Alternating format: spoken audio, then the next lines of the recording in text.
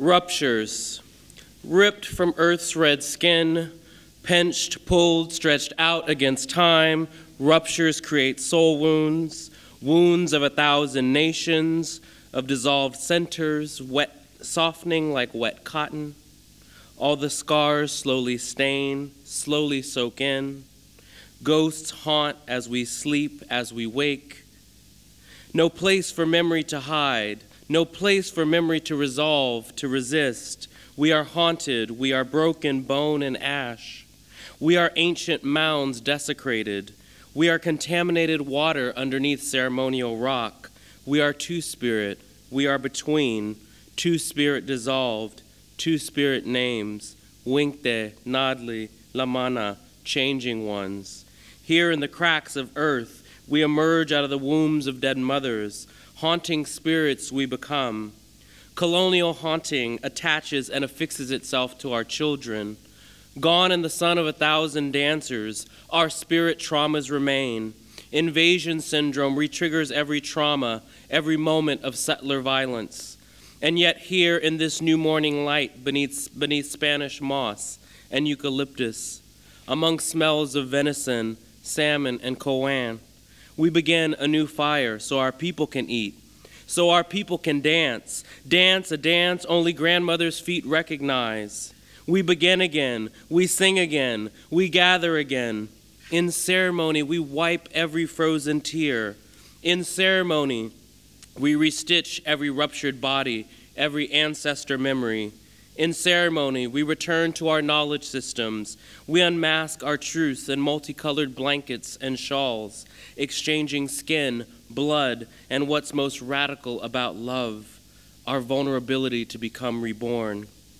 Here in our return, we reach out and whisper to the sacred. We hear you, we remember, we remain, we are ruptured no more, we are dissolved no longer, we are rescinding every haunting, every rape, every unsober moment for a return to the sacred. Look there to the moon and see that the sacred is in the undilated pupils of your sisters, your brothers. Look to the elders and return to the youth. Be your own healing, be your own truth, be your best medicine. There in the return, may all sacrifices be remembered. May all hauntings be dismembered. May all ruptures dissipate into springs and creeks along the land.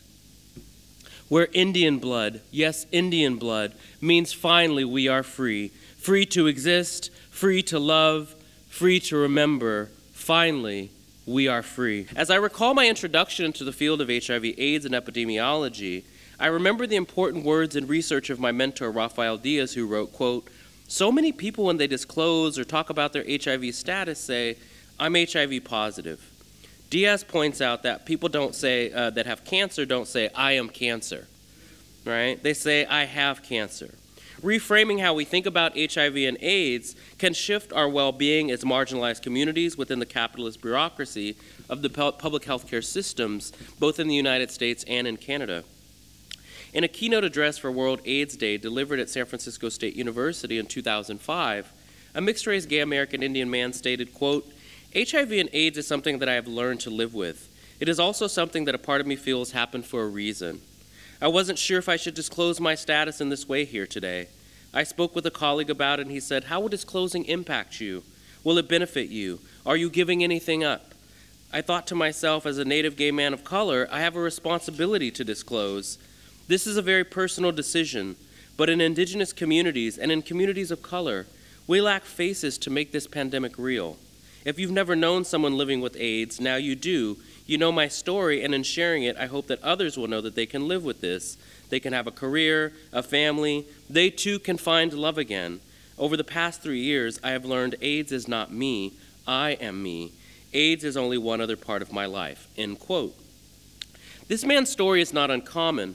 For many American Indian people today, HIV, AIDS, gender, sexuality, mixed race identity, they all intersect in complex and traumatic ways in the absence of community support, cultural buffers, and stress coping mechanisms needed to combat colonial oppression, needed to deal with colonial haunting. This is my story too. I was the person who delivered that keynote talk.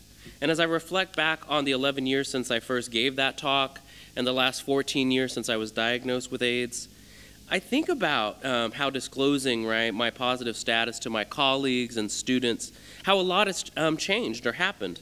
I went from having pneumonia and 35 T cells and a viral load of over 500,000 to an undetectable viral load and over 1,100 T cells.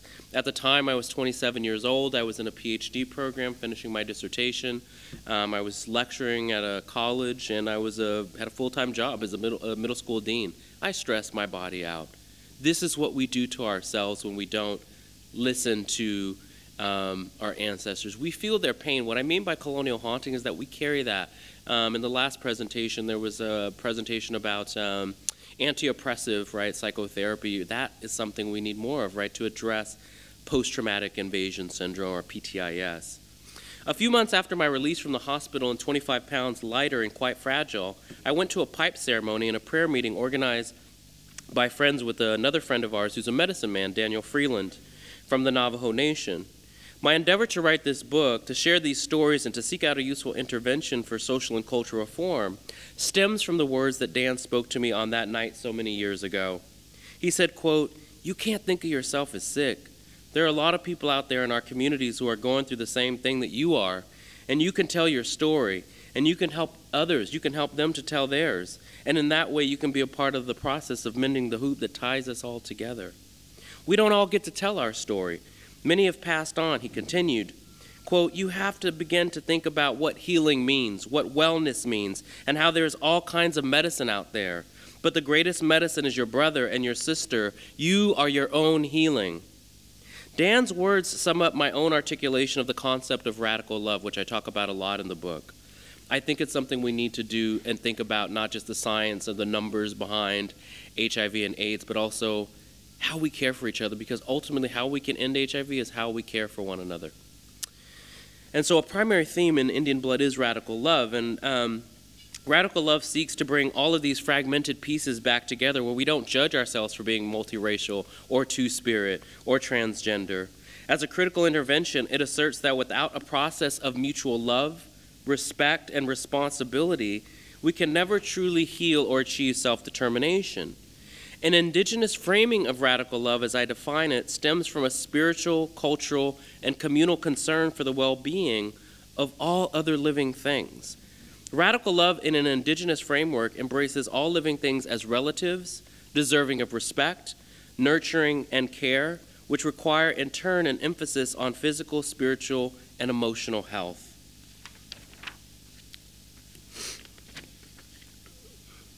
The dissolution of Two Spirit cultural practices is a direct result of the actions of religious missionaries and government officials who work to erode, destroy, and reshape gender and sexual practices within Native communities throughout the Americas. Today, many indigenous communities have internalized and adopted some of these Western views of gender and sexuality. But there is a long history of two spirit, third, and fourth gender military and religious leaders and tribes throughout the United States.